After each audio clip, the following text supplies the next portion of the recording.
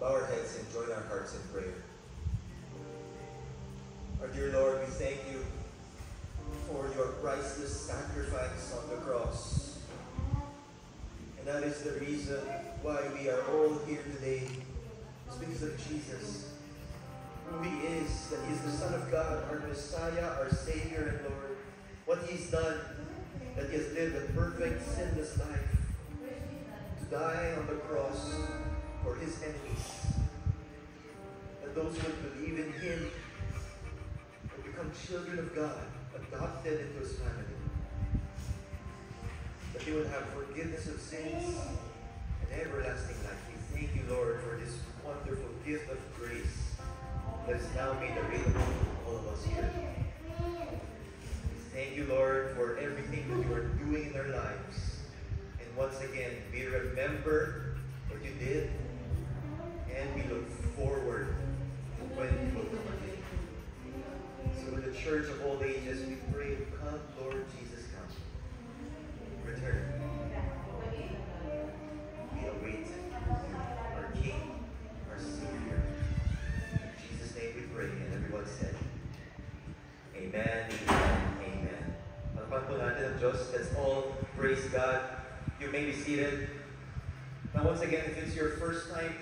us here at CCF, we welcome you.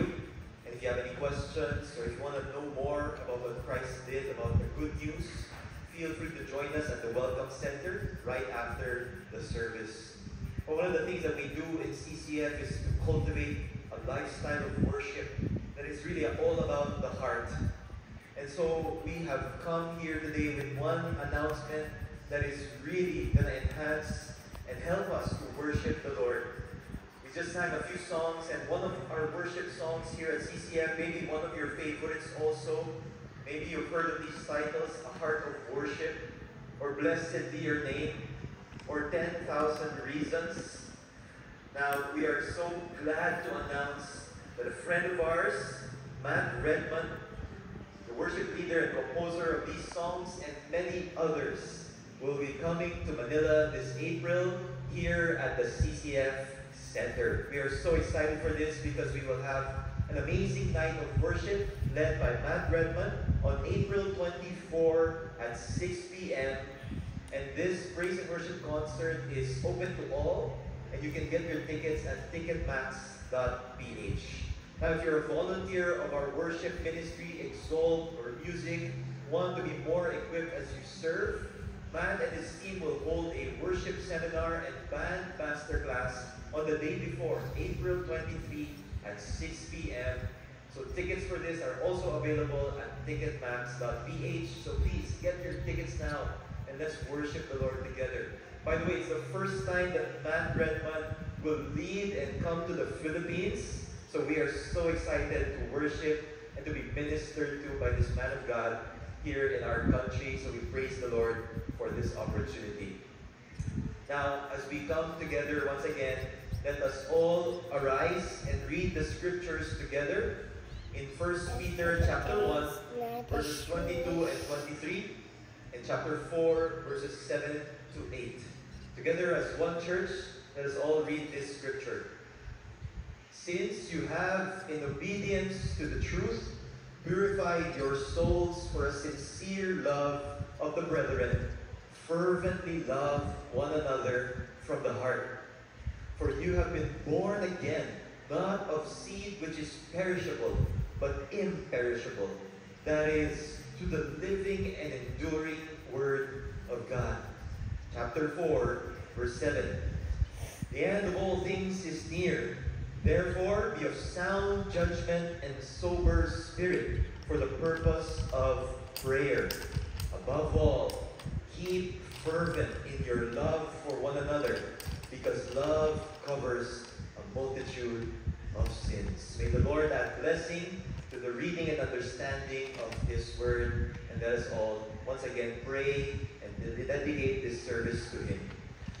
Father God, we thank you for this time that we worship you in spirit and in truth, that we have come here together as one church assembled all over the country and all over the Why world. Why only one joining church? To worship you, Why did he say the one experience more church? and more of your love for us. We once again thank you and we commit One this church. time to you from beginning Huh? to end that you would One be with church us. only. That everyone here would experience your presence here right now. And we pray, Lord, that you would fill your servant, our speaker, Pastor Ricky, today, that you will override his preparation, that you will teach him what to say and what not to say, and that you will just lead him with this message that you have desired to speak to all of us here. We pray, Lord, that as a result of this preaching, that we would rediscover your love, that your love would be made refreshing, renewing to all of us here, that we may be transformed to be more like Jesus. We thank you, Lord, and we commit this time to you. In Jesus' name we pray, and everyone said, Amen and amen. Let's welcome Pastor Ricky. Thank you, Pastor Mike. Shall we appreciate Pastor Mike Yap?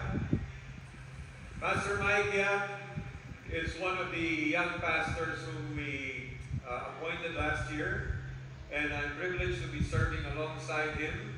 He reminds me that once upon a time, I also had dark hair and a dark beard. Mike, puputi din yan. But Mike's, Pastor Mike's burden is to develop men for Jesus. His burden is also to develop young leaders for Jesus, and his other burden is to help CCF become uh, a place of prayer. So will you keep Pastor Mike, his wife Yvette, and their family in your prayers as well? Okay. Good morning, everyone, and welcome back to Love Rediscovered. Why are we in this series to begin with? Well, many people in this world think they understand what love is. And I'm sorry to say that the majority of them are wrong. A lot of people are confused as to what love is. They don't even understand what it really is, and therefore, for those reasons and more, you and I need to rediscover love according to the one who invented it in the first place. The author of love is not some romantic songwriter. The author of love is God Himself. So we need to go back to the manual of the author to understand and rediscover what love is. Now, in the last Wait, I few need to bring messages, something. it's almost as if we were interviewing the subject matter experts about love.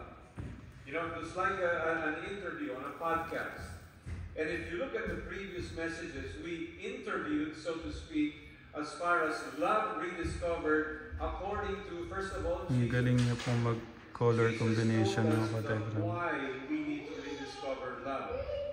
And principally it's because his people, his followers, need to be known not by how much Bible we know, or how many verses we can recite, or how perfect our church attendance is. We should be known, Jesus said, by what? It's a four-letter word, but it's the best four-letter word in the universe. Love. We should be known by love. That's the why we are rediscovering love. And then the next two messages, love rediscovered according to Paul, we heard about being love. In, love is action. Love is kind, love is patient, love is not arrogant, not boastful, does not seek its own, etc., etc. Very down to earth, very practical, but also impossible to execute without the power of the Holy Spirit. Then we heard some more. Last Sunday we heard about love being rediscovered according to James. And James says we need to love what? Radically.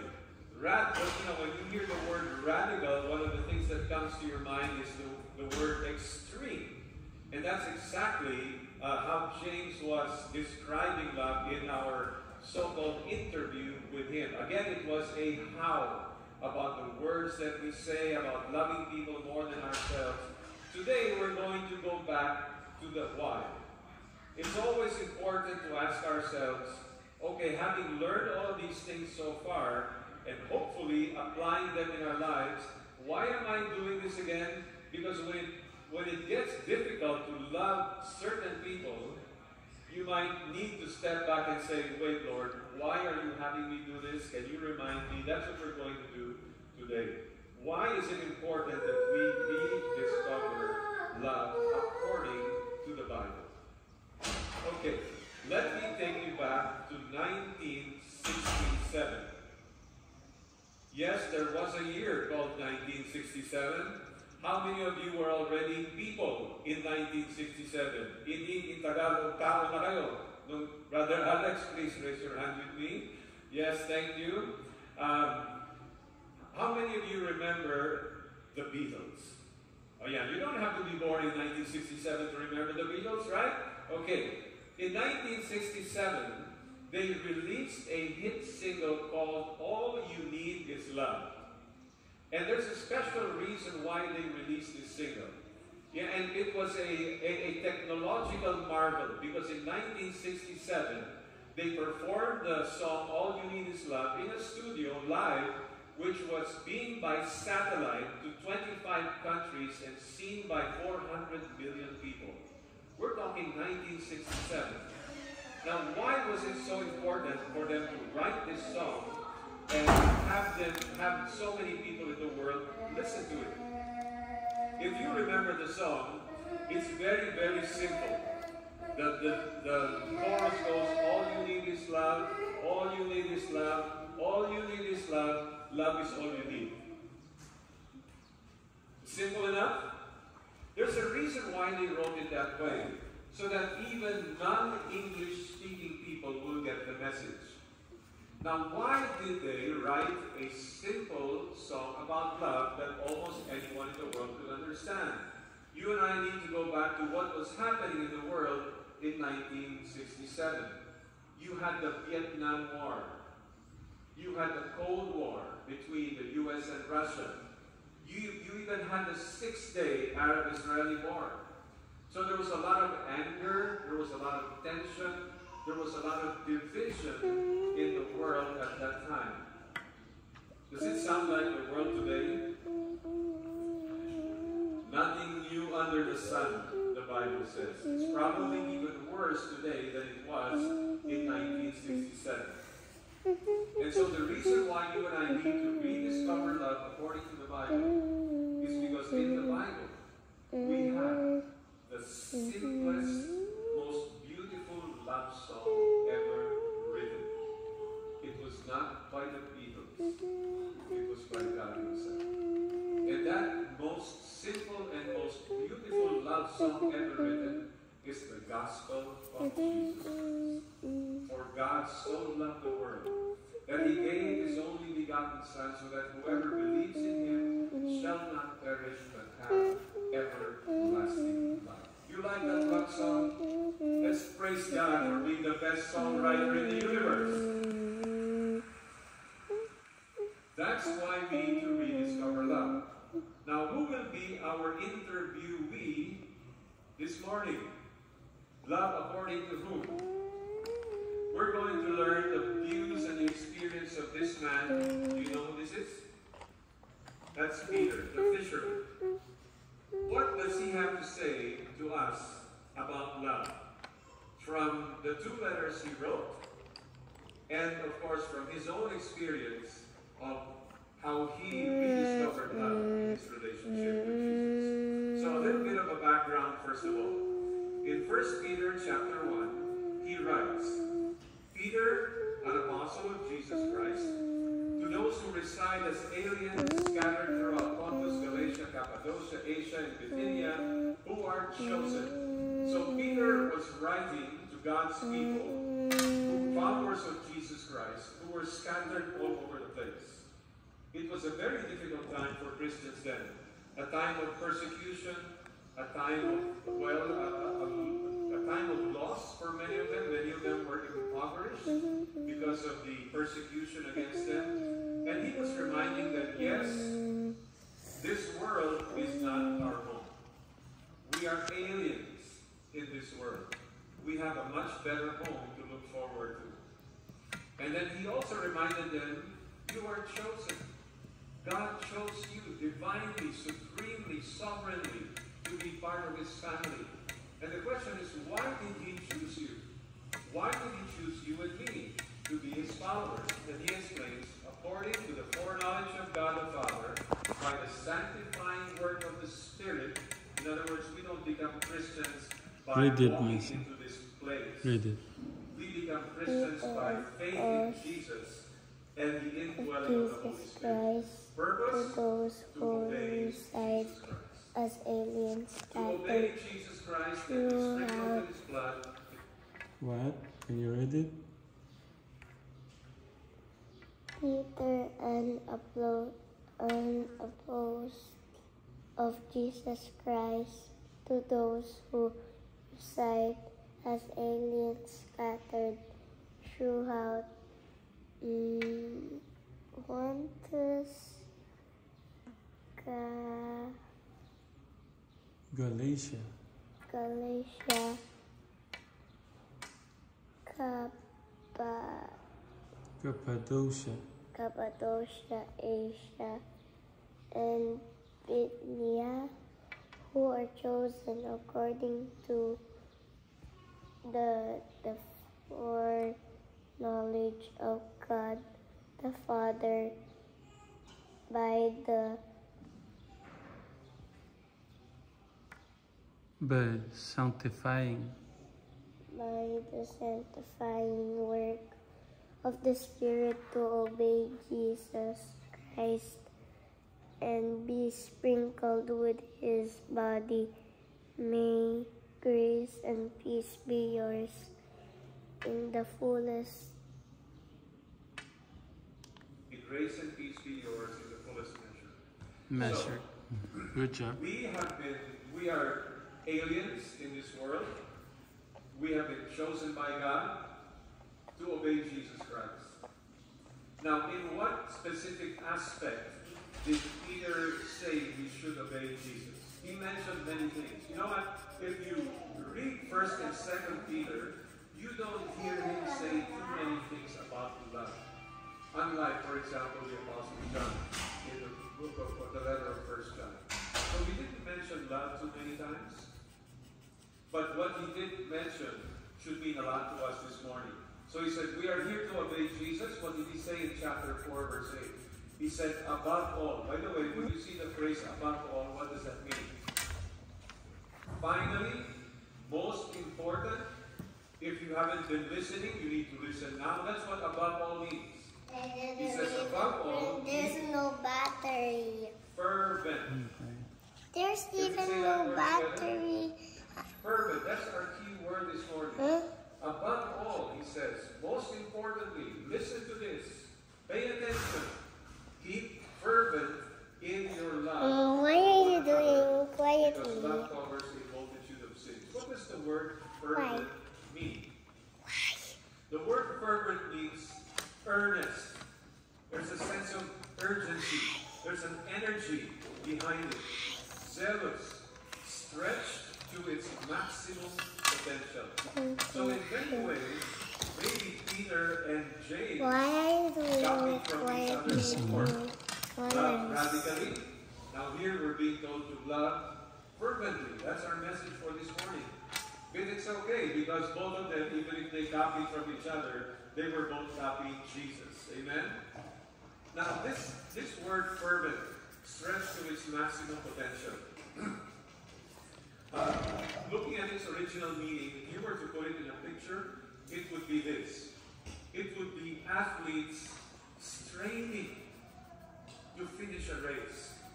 Do you see the strain in the muscles of these athletes? Are, are they are they running like you know enjoying the park and no they're they're like dead serious. Their their mind is so focused. I've got to finish this race. So you can see the zeal and the enthusiasm. So keep this picture in your mind as we talk about our message this morning. Our message today is love fervently. And there are three reasons. Remember, that's the how, fervently, stretched to its maximum potential, earnestly, zealously, but before we're going back to the why. Three reasons, at least, Peter gives us based on his letters, as well as based on his life, why you and I should love fervently. Number one is new identity. We are new people in Jesus. We're no longer who we used to be. So hot. Second is short time. Life is short. Even the life of this earth is short. You and I are not going to live forever on this earth, and this earth is not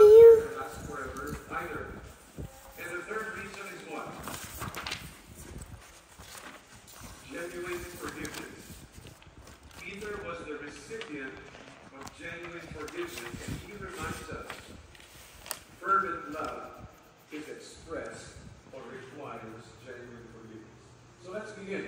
The first one. Why should we love fervently? Because of a new identity.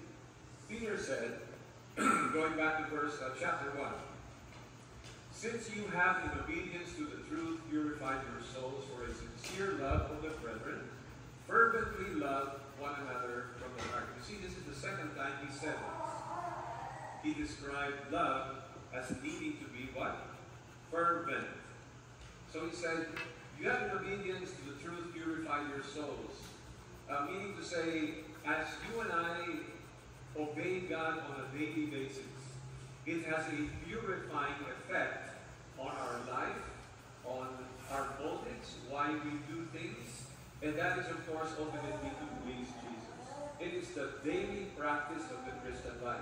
And he said, since you are doing this, since you are obeying the truth, he says, fervently love one another from the heart.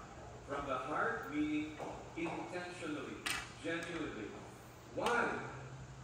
Again, we go back to the Golden why. hair. Why should you and I love one another? It's a golden hair. Here's the reason in verse 23. For you have been what? What did he say? Know, some people are allergic to the term born again. Maybe many of us, even I, was allergic to the term born again. You know, we kind of made fun of that term like born against. Have you ever heard that before? Ah, what are you now, born against? Or some people would say, burn again. Right? If you if you don't subscribe to whatever is the popular religion, you become a born again Christian. You, they they tell you you are born again. Folks, born again is not a religion. Born again is not a group. Born again is what happens from the inside out when you enter into a relationship with Jesus. We'll talk about that a little bit more. But anyway, he's saying you need to love one another first. Why did he say inside you have been out? born again. You're a new person in mm-hmm. Christ. Why did he say seed, which is inside out? Uh, because- Later I explain to you. wrote. Uh, a little bit of a detour back to Paul from two Sundays ago. He said, Therefore, if anyone is in Christ, meaning in a relationship with Christ, surrender completely to Jesus as Lord and Savior. Okay, therefore, if anyone is in that situation in Christ, he's a what? He's a new creature, a new creation. Folks, the Christian life is not about being a, s- a slightly better person. The Christian life is not about just New Year's resolutions. The Christian life is about being a completely new person and living according to that newness. He says, The old things have passed away, behold, new things have come. The word new means fresh, unused, unprecedented, unheard of. In other words, if you are in a relationship with Jesus today, you are totally not the same person you were before. Now you might say, how come I still have so many of my old bad habits? You are growing into who you are in Christ. That's why we need to obey Him daily and be empowered by the Holy Spirit. But positionally speaking, in terms of your identity, you are no longer who you. You are fresh, unprecedented. Who you are today was unheard of in terms of your old life. You know, when I was looking at this definition, fresh, how many of you you like the smell of a new car? Have you ever smelled the smell of a new car? Yeah, you like the smell of a new car, or am I the only one? I love the smell of a new car. A few days ago, I was picked up by a, a, a new car, and I, I rode in the car, and I said, "Wow, this is fresh. Maybe I'm the first passenger, or maybe you go to a, a showroom, right? And you open the door, and there's this new car smell. You know, sometimes I wish they would invent a cologne or a perfume. New car cologne. You like that? And you spray yourself, and then when you pass by people, they'll say, "Oh, he must have ridden in a new car." But but that's the whole idea. It's like fresh and brand new. Now, Why is this important? Can you see? New identity or being oh, Wow. important. It's so good in color combination. Can you see? So uh, beautiful, no? But don't put a line like this, okay? Wait lang. Ay, ayun ay. Picture it. Look him in the eye. It's so beautiful, my Gia, no?